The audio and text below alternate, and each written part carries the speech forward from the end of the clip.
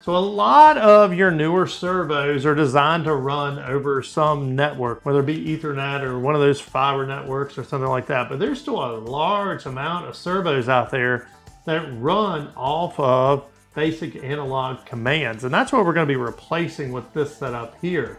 It's an existing system. It has a PLC that's sending analog speed command and it sends an enable and a reverse signal. And so that's what I have worked to mimic on this one. So on your basic servo system, you'll have some type of servo controller. Sometimes it's built into the servo drive, many times it's external of it.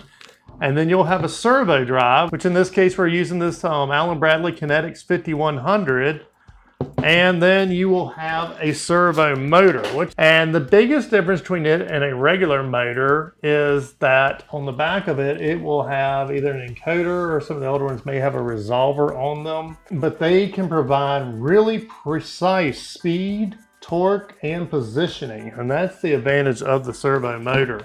Also, big warning, a lot of them do have a battery on their encoder. Read the instructions before you go just starting to jerk wires off the motors and everything. Some of them alarm and you gotta go in and manually reset them. There can be all types of little things like that. So that's the first thing is don't just start jerking wires off servos. Let's go ahead and throw some power on this. And let's talk a little bit about the setup that I have. So I've made switch one the enable for the servo. I've actually made switch two the over travels. That way we can talk a little bit about it. And I've wired in this e-stop right here. Also, for my specific application, I needed that reverse input. So this one does an enable to enable the servo. It gives it an analog speed command, which I'm gonna use our analog simulator to do. And then when it needs to reverse, it actually has a reverse output to reverse whatever speed you're sending to the analog. First, let's just talk about the servo here. Oh, get that key out of the way before it goes flying. But the servo is not enabled right now. That means this motor just can freely turn. Now I'm going to switch the enable on.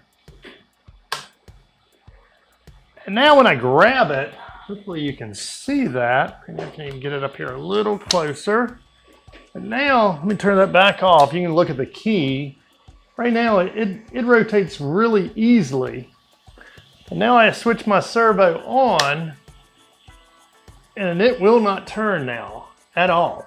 So it is locked on that particular position and it's going to try to hold that position with everything it has until it gets a command to go somewhere else. So as we bring up our analog signal, hopefully I can hold all this.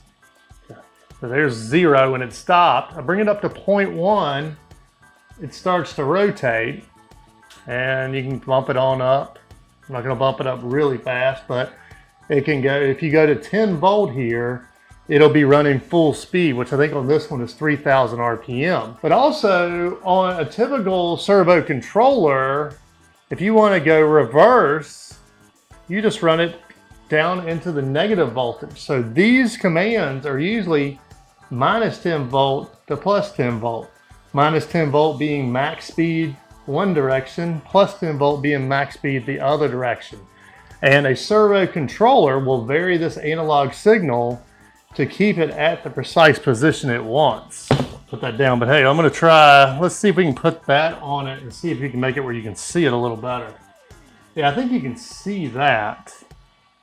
All right, here, let me pop that back off. Let's just take our trusty Sharpie and we will color this one. There, now you can see it. My arm was getting tired really fast holding that motor up.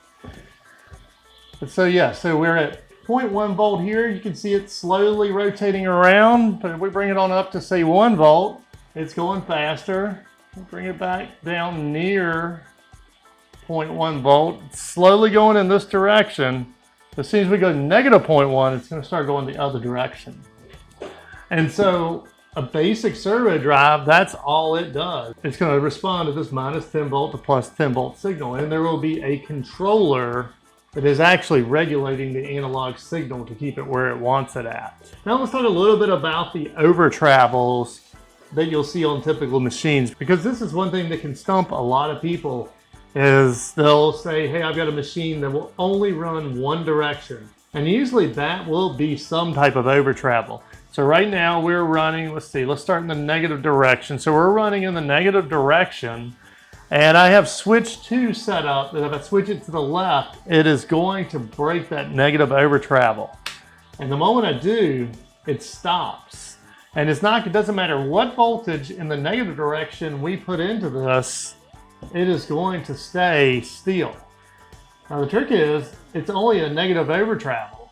So if I bring this on up into the positive direction, then it's gonna start rotating the other way. So it'll run one way, but we bring it back into the negative, it's gonna stop. And that's because of this over travel.